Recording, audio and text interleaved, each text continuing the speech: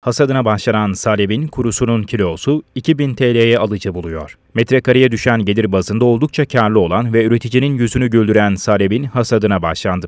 Son yıllarda Türkiye'de bitkisel üretime oldukça önem veriliyor. Bu çerçevede Samsun'un 19 Mayıs ilçesinde 2016 yılında izinle salep ekimine başlayan çiftçilerin sayısı geçen sürede 7 kişiden 150 kişiye çıktı. Son yıllarda oldukça artan salep üreticisi sayısına rağmen kuru salepin kilosu 2000 TL'ye satılabiliyor. 19 Mayıs ilçesindeki salep üretimimiz 2016 yılında bakanlıktan alınan doğadan toplayıp tarlaya taşıma izniyle gerçekleştirildi. O dönemde 7 tane çiftçiyle başladığımız e, alan şu anda farklı çeşitli çoğaltma projeleriyle destek kurumlarından aldığımız desteklerle yaklaşık Samsun ilimizde 150'ye yakın çiftçimiz buna başladı.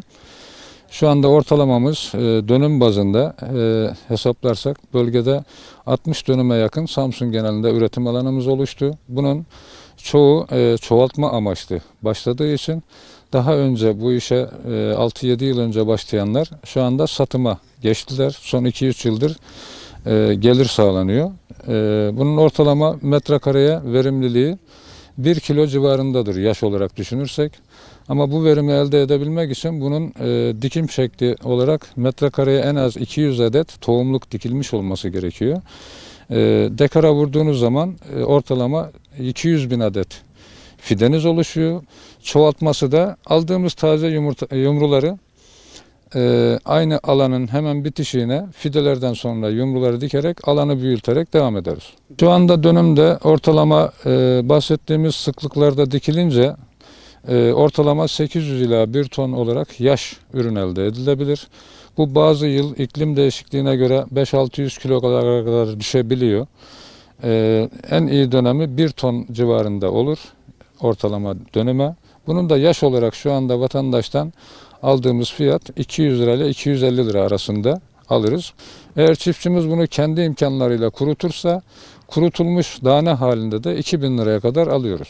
Karadeniz bölgesi de buna çok uygun. Bu topraktan gıda almadan yetişen bir üründür. Tamamen nemden oluşan bakterilerle, mikroza mantarlarla yetiştiği kanıtlandı. Bu bölgelerde verim yüksekliği yaşıyoruz. Daha çok küçük alanda üretim yapan çiftçileri yönlendirmek amaçlı bunu biz tavsiye ediyoruz. Yeni bir üretime başlandığı için son birkaç yıldan beri bazı illerde bunu başlamak isteyenlerin e, yönetmelikle alakalı e, ulaşamadığı noktalar oluyor. Bunun üretimiyle alakalı biraz yönetmelik düzeltilmesi yapılacak. 2023'ün sonunda genel müdürlükle çalışmamız devam ediyor. Bu yönetmelikle biraz daha kolaylaştırarak vatandaşın buna ulaşımını sağlayıp bunun e, üretimine ağırlık verilecek. Tamamını toplar hasat edebilirsek 30 ton civarında çıkar. Bunun tamamını hasat etmiyoruz çünkü çoğalt etsek de çoğaltma amaçlı kullandığımız için bunun yaklaşık 10-15 tonunu piyasaya sürüyoruz. Sadece Türkiye piyasasını düşünürsek e, kullanım hem sıcak salep içiminde hem e, dondurmada kullanacak olursak yaklaşık e, yaş olarak düşündüğümüzde en az 500 veya 1000 ton arasında üretim olması lazım ki bunun e, belli bir alana tüketime yetişebilmesi için.